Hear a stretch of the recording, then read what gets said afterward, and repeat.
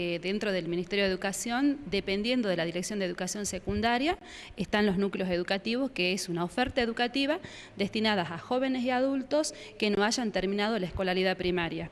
Eh, actualmente en Salta eh, tenemos núcleos este, educativos distribuidos en todas las provincias, 36 núcleos educativos con 129 aulas. ¿Cómo funcionan los núcleos? Los núcleos tienen una, un, aulas sedes tiene una, escuela sede donde eh, están funcionando dos o tres aulas y distribuyen aulas satélites donde la demanda lo requiera.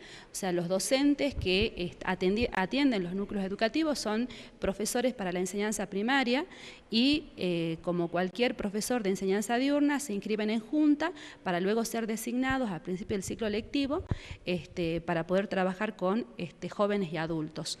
Eh, bueno, los núcleos educativos tienen una caja curricular eh, semejante a lo que es este, la primaria diurna, pero adaptada a lo que es la enseñanza de jóvenes y adultos. Y eh, además dentro de lo que es la, organización, este, podríamos decir, administrativa, se ofrecen exámenes libres y reválidas entre, febrero, julio y diciembre para aquellas personas que por cualquier circunstancia no pueden hacerlo de manera presencial, puedan hacerlo de manera libre rindiendo exámenes que acrediten la primaria. O sea, eh, estas ofertas están en, todo, en toda la provincia. Tenemos seis núcleos educativos en Capital, tenemos más de dos en el norte, en San Martín y Rivadavia, eh, tenemos en Anta, tenemos en Cafayate, Güemes, el Valle del Lerma, y eh, muchas veces el trabajo del docente no solamente es pedagógico, sino también es un trabajo social, porque contiene, le da una contención esencial a los jóvenes y adultos que están eh, en estos núcleos educativos. Tenemos nosotros en la dirección de secundaria las direcciones de todos los núcleos educativos.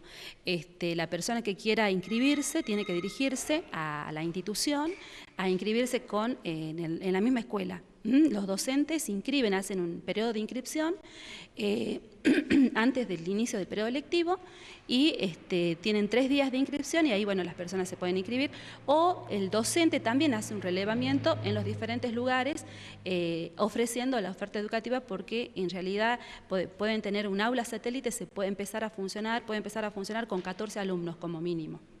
Entonces, bueno, la inscripción puede hacerse en esa institución educativa o si no, puede, no, tienen la dirección de las instituciones educativas, en la dirección tenemos la lista de los núcleos educativos para que ellos puedan informarse eh, cuál es el núcleo educativo que está más cerca de su domicilio.